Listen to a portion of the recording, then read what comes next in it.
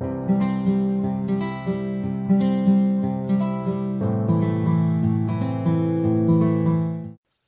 everyone, welcome back to the channel. Today I am going to start a new series on the channel which I call the RE Framework video series.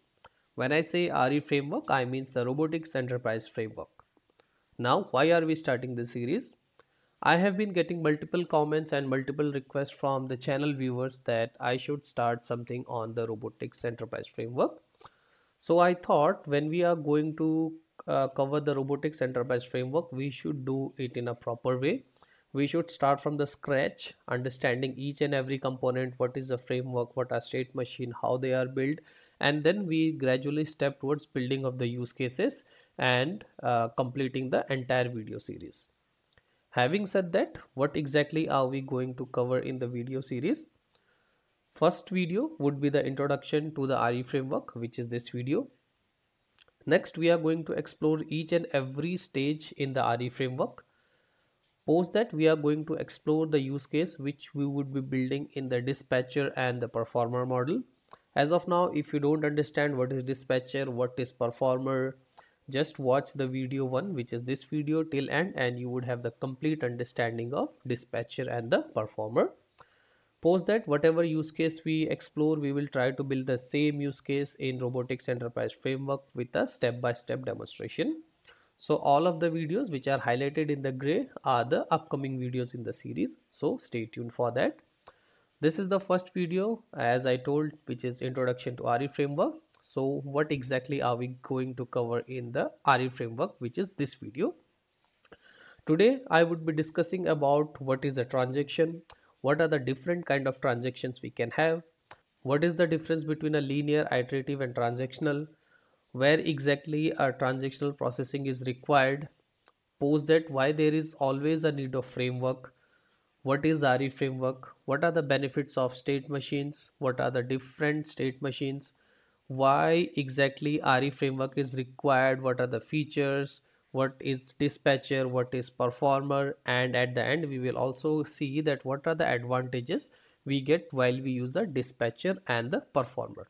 So this is the agenda for this video. Once this video is completed, the next video will be the continuation of this video where we would be exploring the other set of stage. Okay, so let's get started.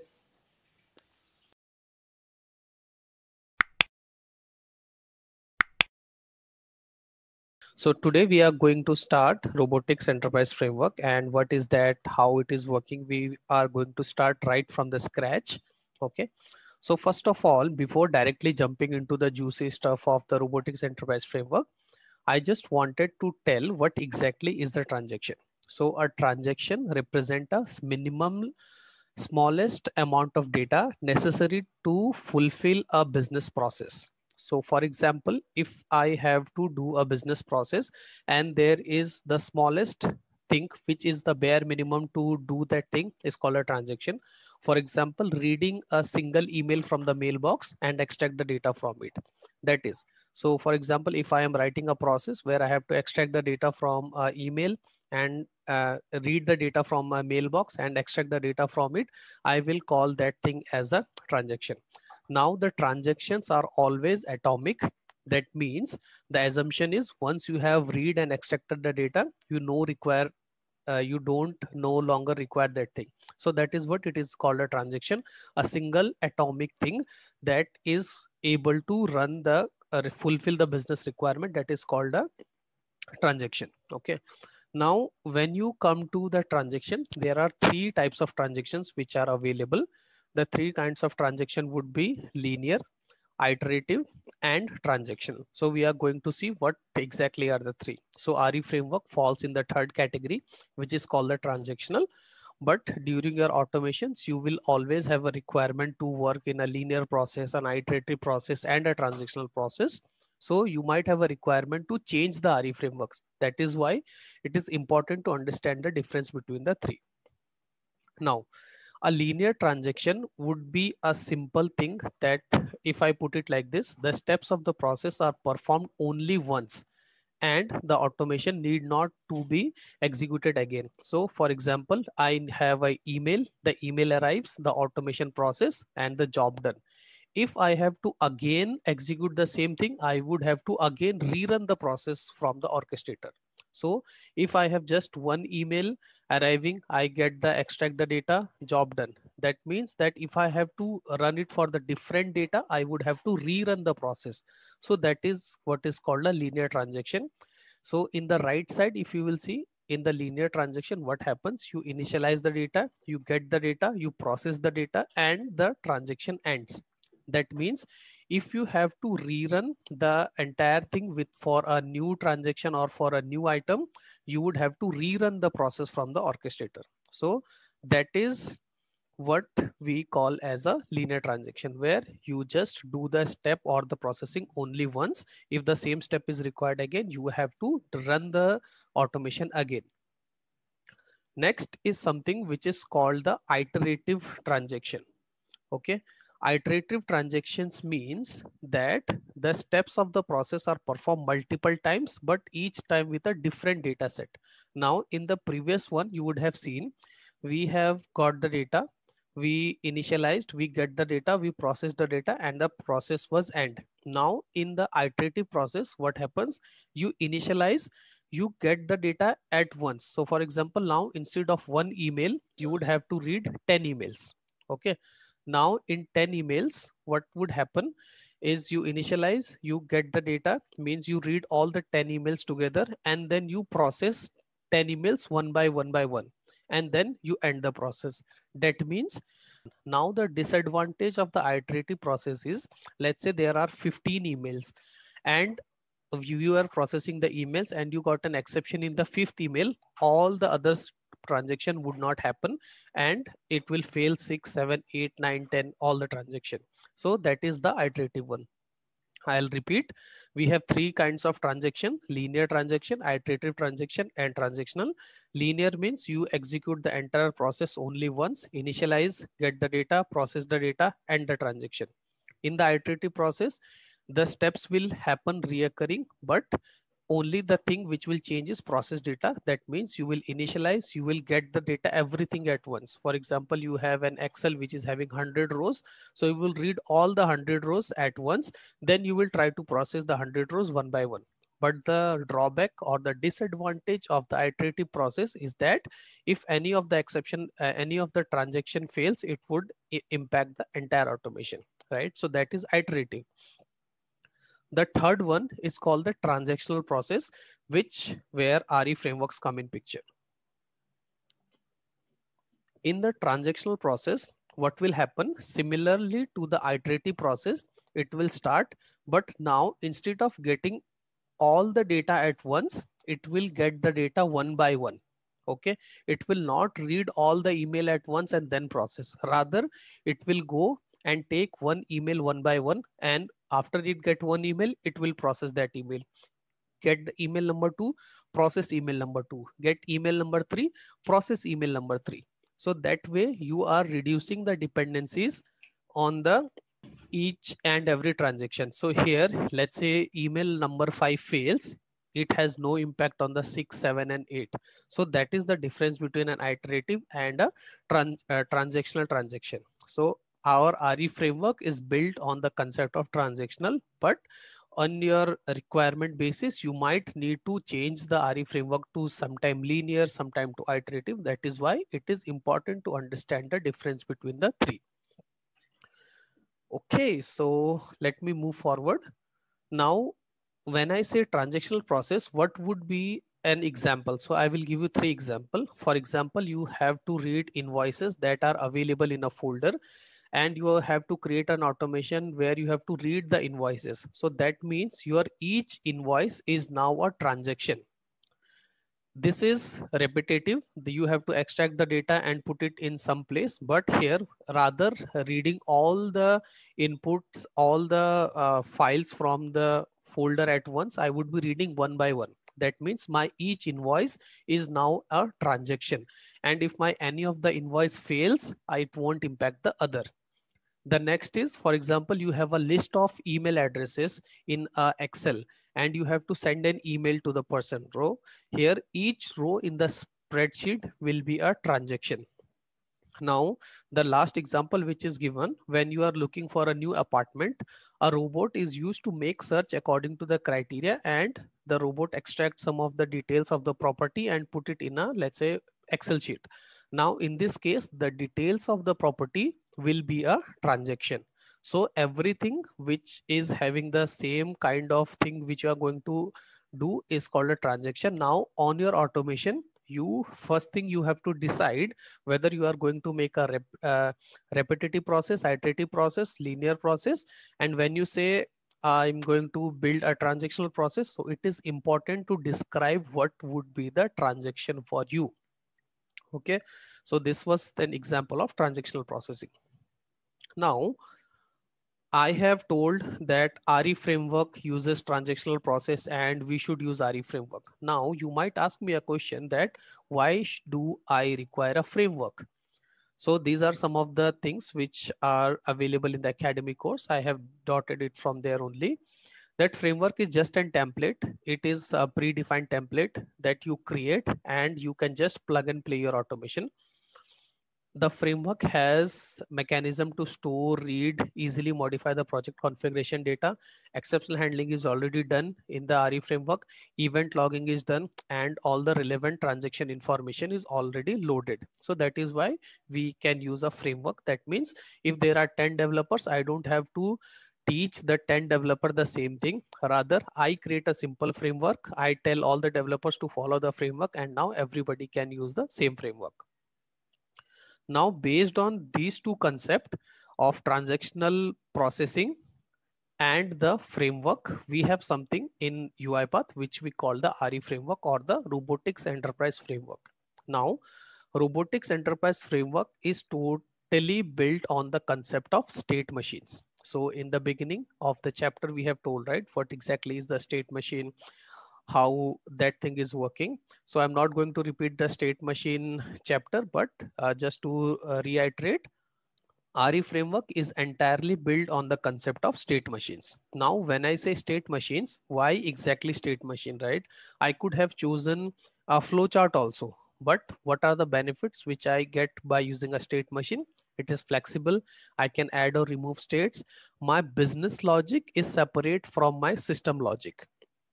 I can have self transition. I can have n number of final states. So these are some of the benefits which I get by using the state machine. These benefits are not available when I build the automation with the flowchart. So that is why it is important to understand the state machine first. Then if you understand the state machines concept clearly, RE framework would be very easy for you.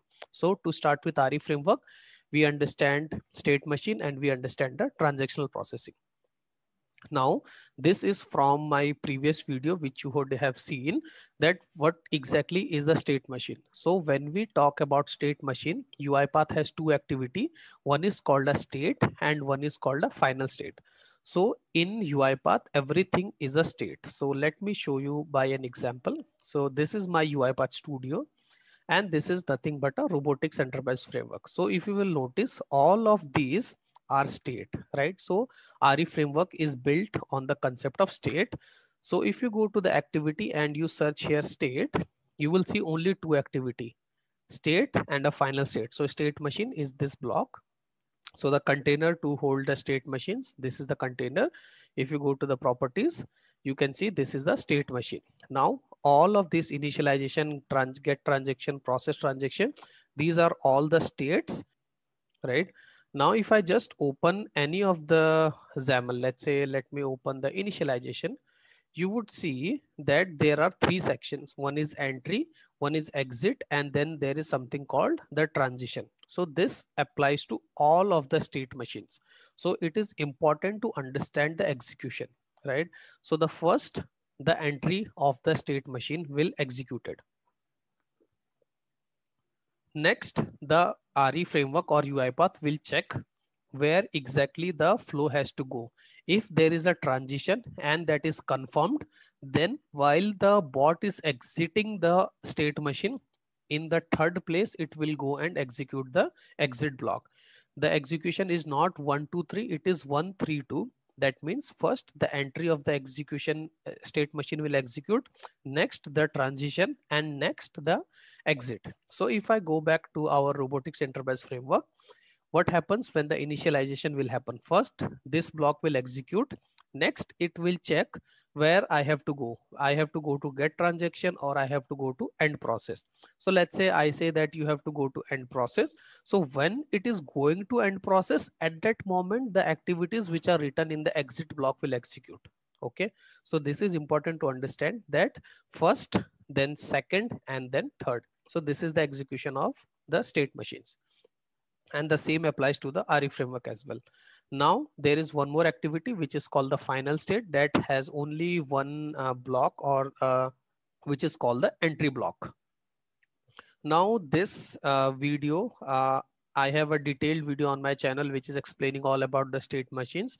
So you can refer this video where I am talking each and every bit of state machine. So whenever you are confused, just read about state machine and that will give you an idea. And then we go to the state machines and then we go to the RE framework, sorry.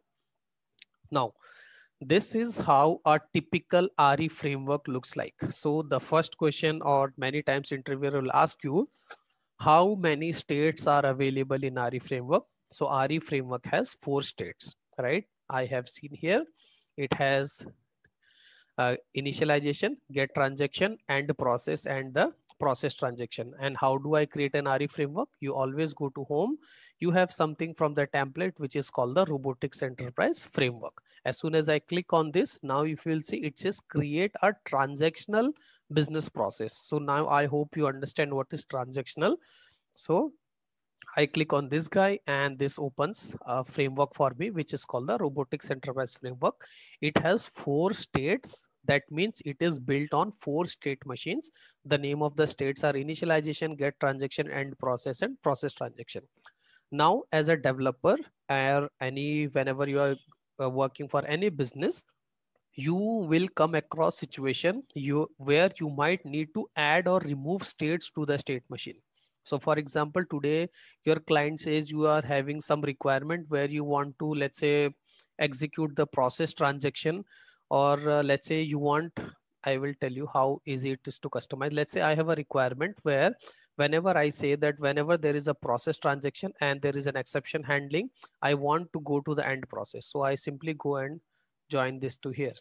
That is it, right? So this is how easy it is to manipulate the RE framework right but most of the times the default one will work but as a developer you might face situations where you might need to change the uh, RE framework okay so base thing only four state initialization get transaction process and end state. Okay. Now these are the four states. Now i am going to explain each and every bit in detail but this is just a very very high level that what happens in the init state.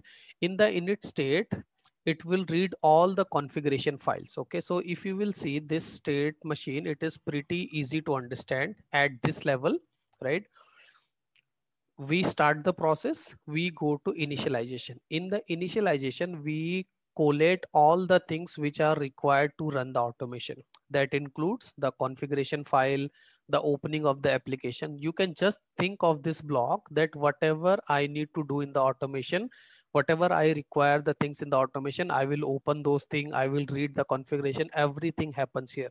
Now, let's say while reading this or opening the application, you encounter some kind of exception.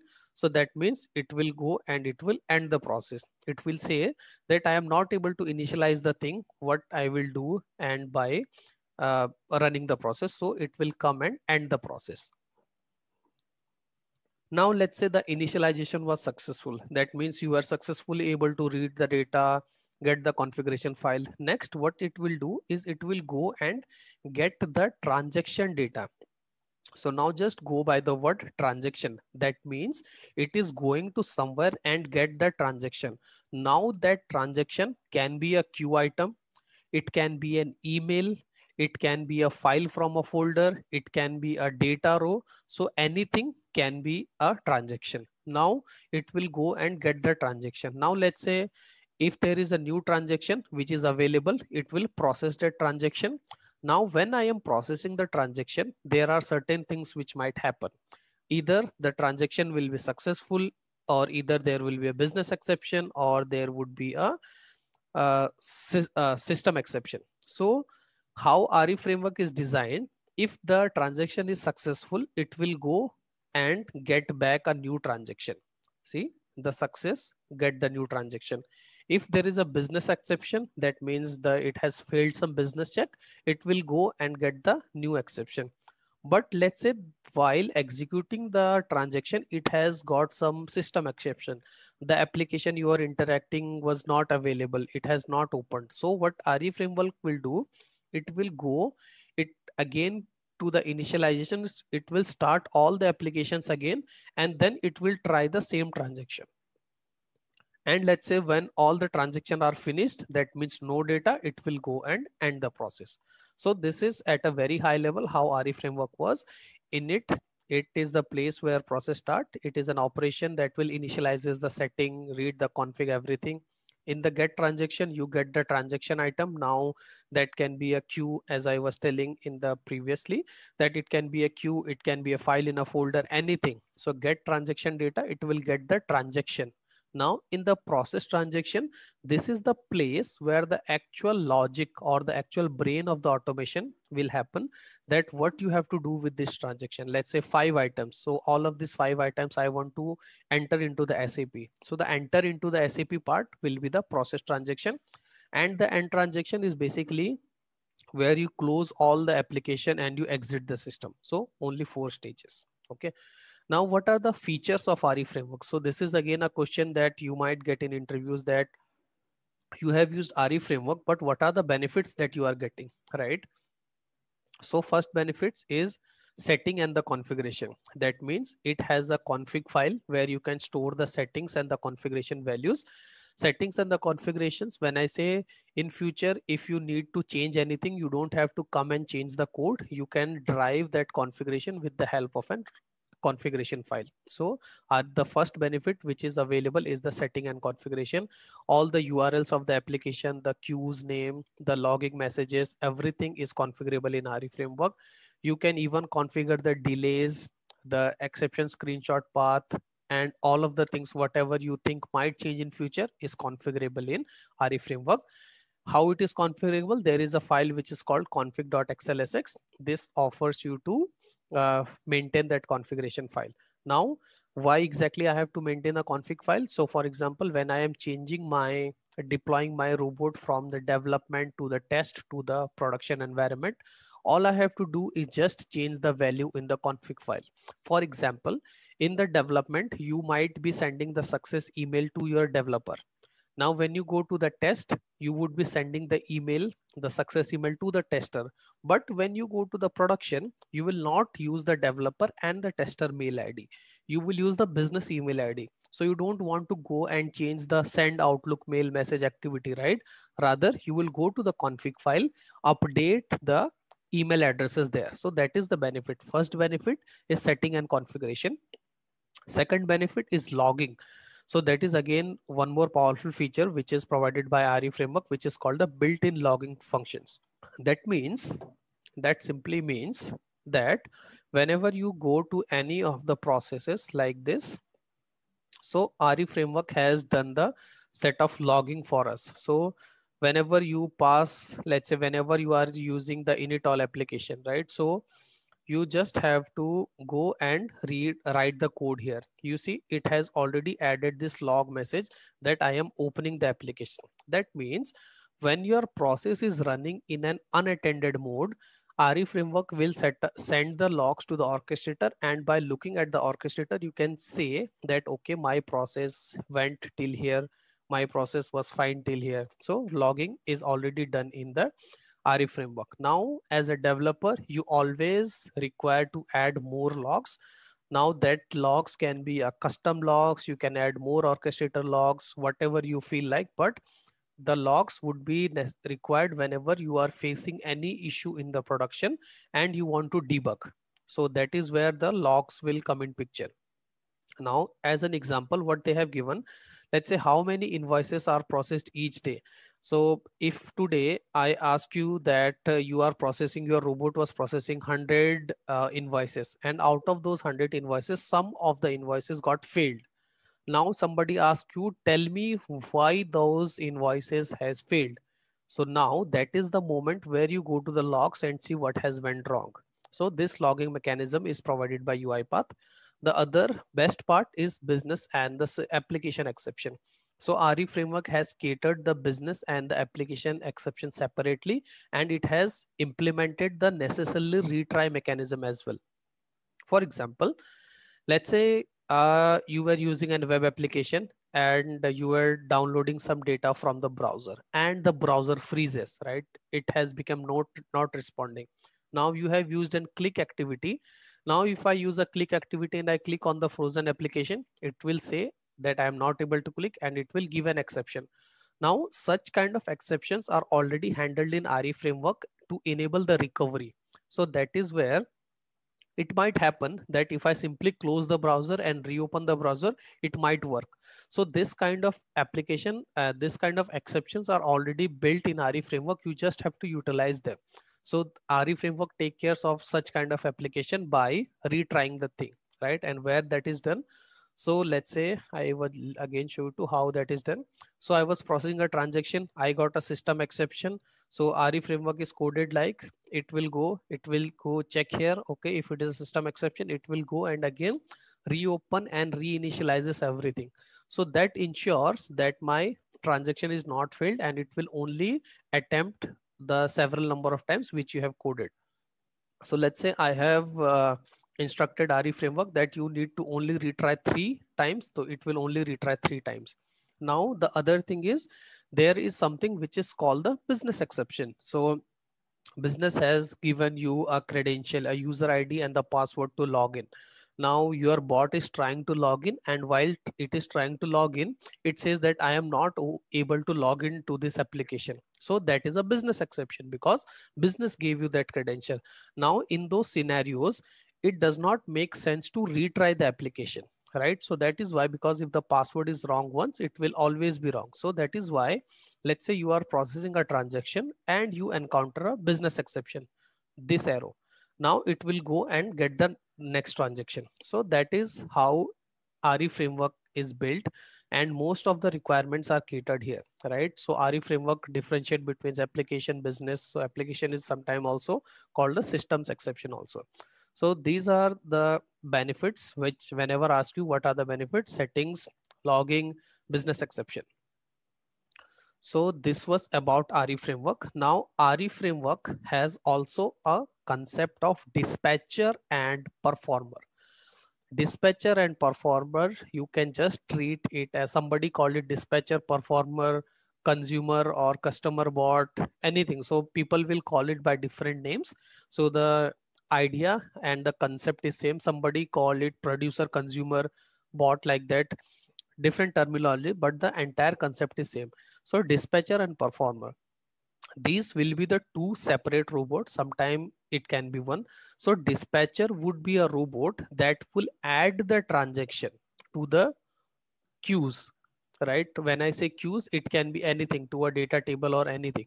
Now if i ask you that you have to run a process and you have to process 150 emails. So the next question you will ask me, where would I go get those 150 emails? So I say that 150 emails will be available in the orchestrator queue, right?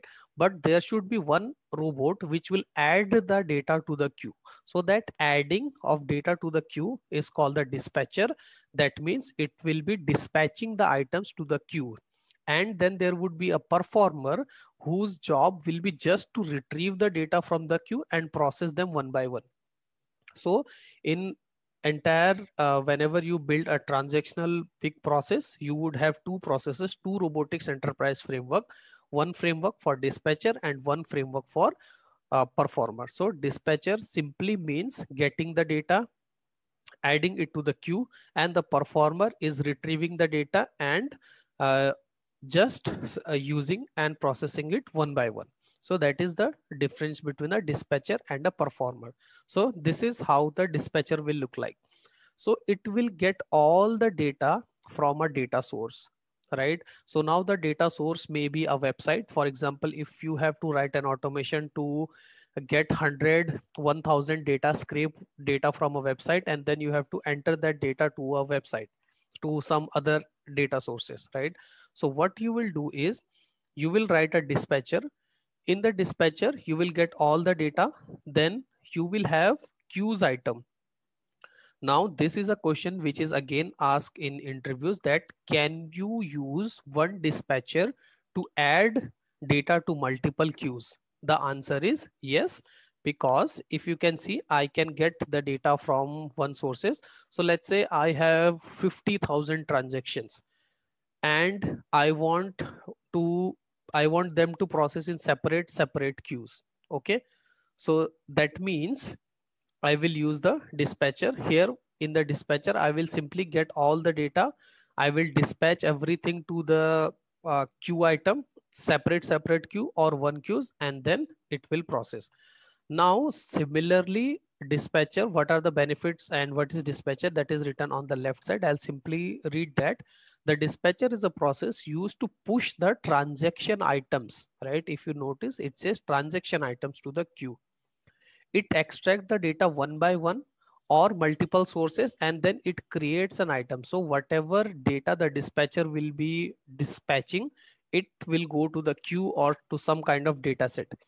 Information are pushed to one or more queues. So this is important.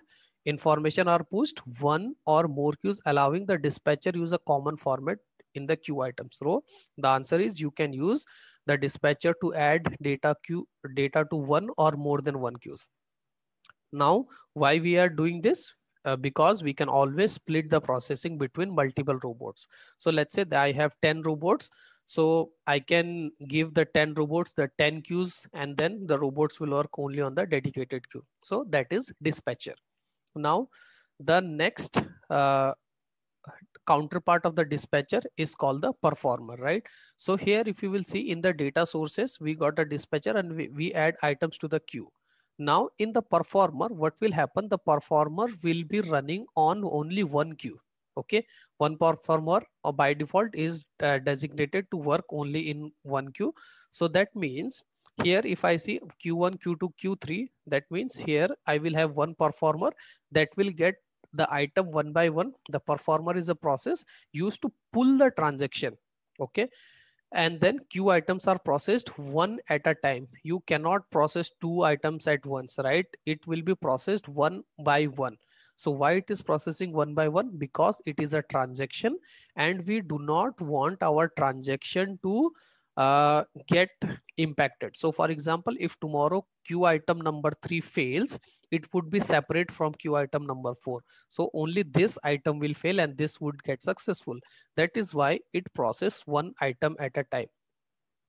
The performer uses the error handling and the retry mechanism that is again inbuilt in RE framework. A major advantage of the performer is the scalability. That means multiple performers can be used with a single queue.